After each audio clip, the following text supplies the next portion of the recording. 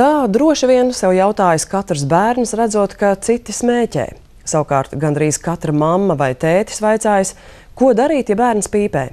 Tikmēr ierēģiņi rosina kārtējo smēķēšanas ierobežošanas paņēmienu, kas vērts tieši uz skolēniem. Komisija izteikusi priekšlikumu vairs netirgot mazās cigarešu paciņas, cerībā, ka lielās bērniem nebūs pa kabatai. Turpina Laura Vonda. Tiklīdz skolā atskan zvans, pa durvīm izbirst jaunieši, meklē klusākas vietiņas, kur uzvilkt dūmu.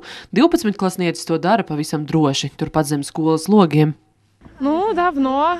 Не буду говорить, конечно, сколько, но давно.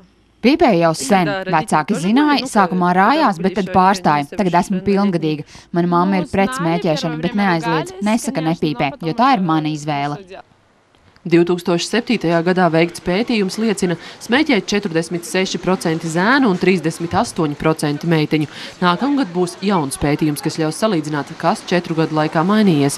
Pētnieki pārliecināti pavisam nedaudz, bet smēķējoši jauniešu būs mazāk. Sliktāk nav, jebkurā gadījumā šie skaitļi, skaitļi arī jauniešu vidū uzlabojas, jo tomēr šīs akcijas nodokļu paaugstināšanas, šis, nu, šīs, nu, ierobežošanas smēķēt kafejnīcās, un tas atstāja arī uz tiem jauniešiem, uz viņu iespēju iegādāties, lietot tās cigaretes. Tikmēr smēķēšanas ierobežošanas valsts komisija nolēmusi veicināt jauniešu atteikšanos no smēķēšanas ar jaunu paņēmienu. Rosina aizliegt mazās cigarešu paciņas. Nav noslēpums, ka šīs paciņas ir lētākas, līdz ar to tīri finansiāli apsvērumu dēļ viņas ir vieglāk iegādāties um, jauniešiem, uh, kuriem nu, teiksim, uh, paši varbūt nepelna vai arī pamatā dzīvo no vecāku dotās kabatas naudas.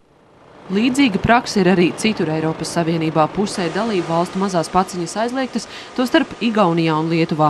Tikmēr likumsargi, kas smēķējošus skolniekus satiek ikdienas, par šādas iniciatīvas efektu izsakās visai piesardzīgi.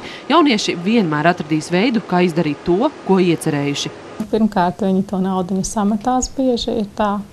Eh, otrkārt, arī eh, uz ielas ir izpalīdzīgi pieaugušie. No jā, kas, eh, ja palūks jaunietes cigareti, ir arī tā, ka tiešām iedod.